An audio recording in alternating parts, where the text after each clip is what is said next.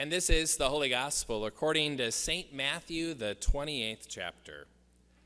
After the Sabbath, as the first day of the week was dawning, Mary Magdalene and the other Mary went to see the tomb. And suddenly there was a great earthquake, for an angel of the Lord descending from heaven came and rolled back the stone and sat on it. His appearance was like lightning, and his clothing white as snow. For fear of him, the guards shook and became like dead men. But the angel said to the women, Do not be afraid. I know that you are looking for Jesus who was crucified. He is not here, for he has been raised, as he said. Come see the place where he lay. Then go quickly and tell his disciples, He has been raised from the dead. And indeed, he is going ahead of you to Galilee. There you will see him. This is my message for you. So they left the tomb quickly with fear and great joy and ran to tell the disciples. Suddenly, Jesus met them and said, Greetings. And they came to him, took hold of his feet, and worshiped him. Then Jesus said to them, Do not be afraid. Go and tell my brothers to go to Galilee there they will see me. This is the gospel of the Lord, and you may be seated. Well, this is a wonderful morning. It's a beautiful day as we gather together on this Easter Sunday to remember the new life that comes because the tomb is empty. Jesus has been raised to new life. This is an incredible thing and this is where our hope is founded on. Our hope is founded on the empty tomb. And it's wonderful to have all of you here and uh, wonderful to uh, have our musicians and the choir and Joe Marie Fike, our, our organist, and uh, Ryan Weilman as well from NDSU. Go Bison. So we're glad that you are here. Welcome to our community. You've done a wonderful job playing the trumpet, so thank you so much. So, a wonderful day to be together, no doubt about it. This has also been a good Holy Week for me. I've been uh, looking at the texts of Holy Week in a new way.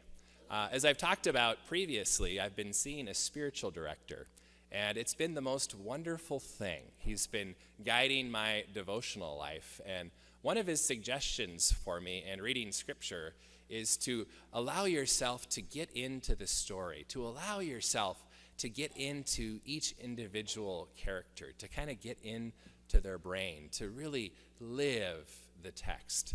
And so I've been really focusing in on that during these texts of Holy Week.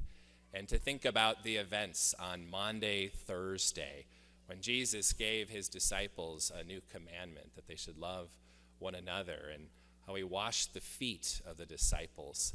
Just imagine for a moment, place yourself in that text Imagine what that would have been like to have Jesus wash your feet and then to celebrate in the Last Supper when Jesus instituted uh, Holy Communion on that night.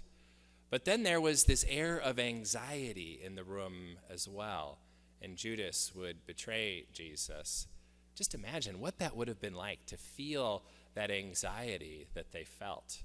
And then to go to the garden, and Jesus is there praying, and then Judas betrays Jesus and is arrested and then is put on trial.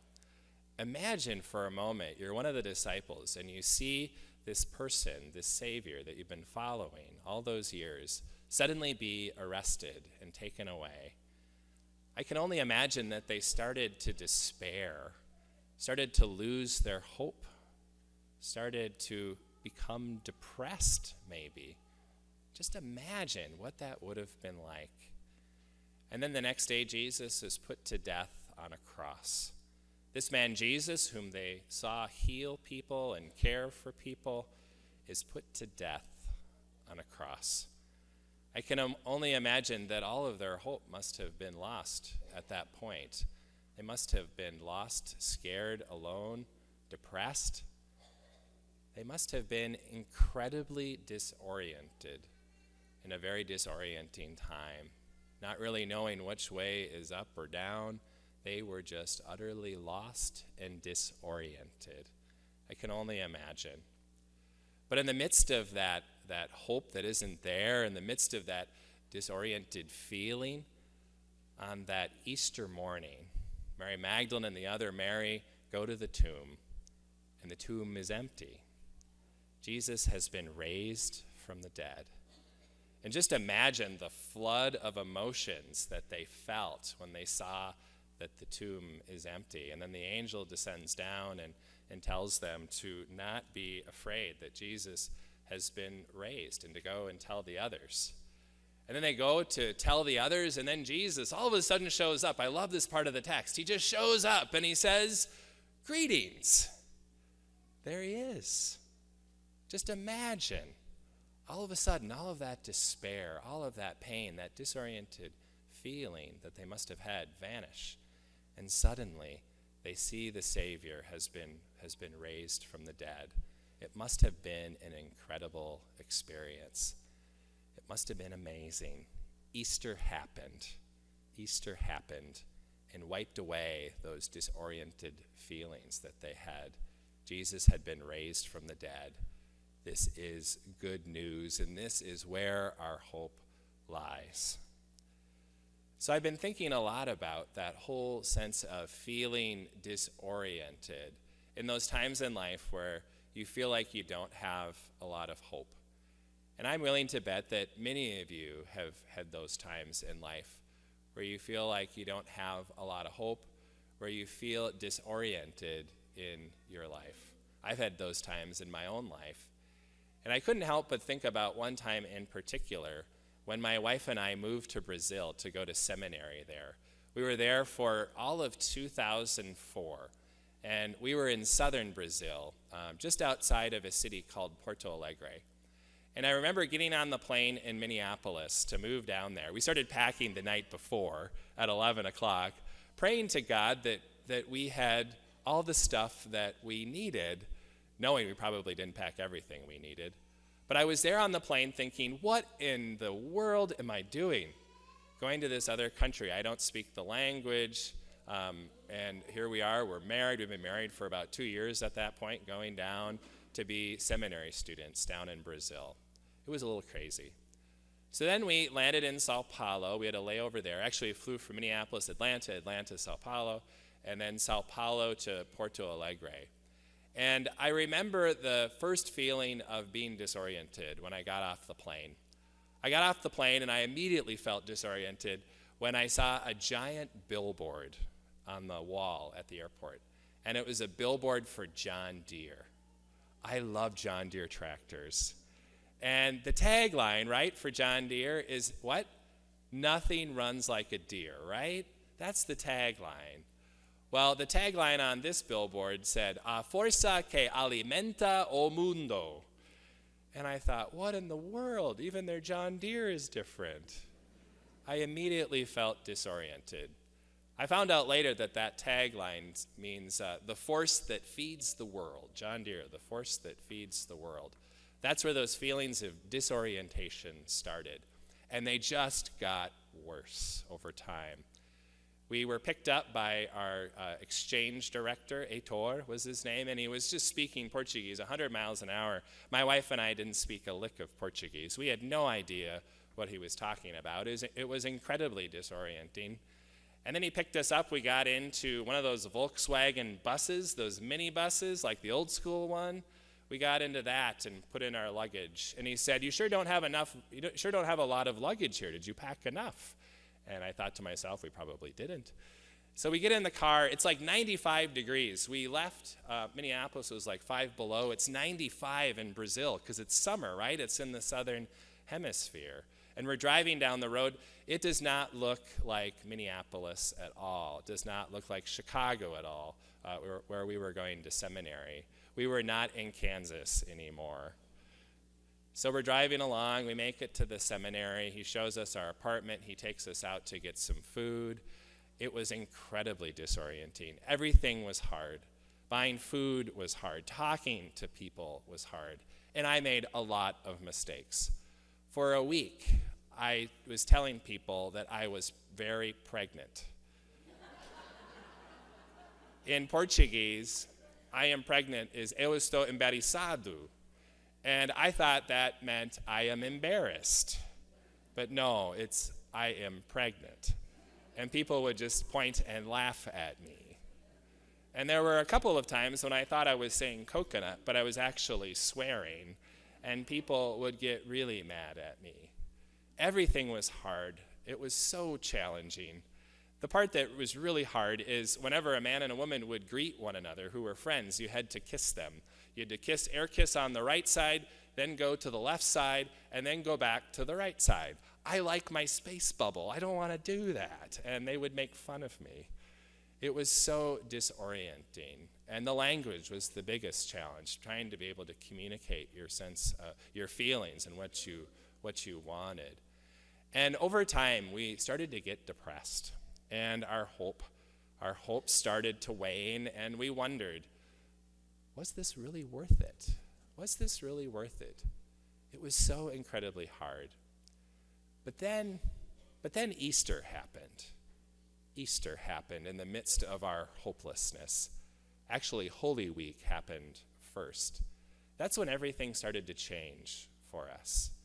I remember going to Maundy Thursday at the seminary, and we washed each other's feet to remember how Jesus washed the feet of the disciples. We celebrated Holy Communion. And it was the most incredible thing because suddenly I started to understand some of the language, and I understood what was going on. And then the next day was Good Friday, and I remember we nailed our sins to the cross, and that was a really amazing experience to do that. And then the next day, on Holy Saturday, we had a campfire outside of the chapel, and then we did the coolest thing. We lit the paschal candle, the Christ candle, from the campfire, and we paraded all throughout the campus. And we had a really out of tune guitar the trumpet player was incredibly out of tune, and there was a trombone. We had a trombone, a trumpet, and a guitar, all of which were out of tune. And every last one of us, we all sang incredibly out of tune. We sounded terrible. But it was the most beautiful thing because I felt very out of tune through that whole experience, feeling hopeless and feeling disoriented. And I said, Yes, this is what I feel like. I feel like I'm out of tune. And it was beautiful to have that realization as we walked around campus singing out of tune. We did it for like an hour. And they actually sang all night out of tune as well. And then uh, we went to a, a, worship service that night as well. We prayed for like three hours, heard scripture, uh, and, uh, sang songs, all sorts of things for our Easter vigil. And then that night, I made cinnamon rolls. Cinnamon rolls always give me hope. And then the next day, we went to Easter services, early morning, about 6:30 in the morning, and we heard the good news of the gospel. We heard that the tomb is empty. We heard that Jesus has been raised to new life. And suddenly I started to have hope again, hope that we would make it through. To know that Jesus has been raised from the dead, to know that our futures have been secure, that my sins have been forgiven, I started to have hope again. Because you see, Easter came.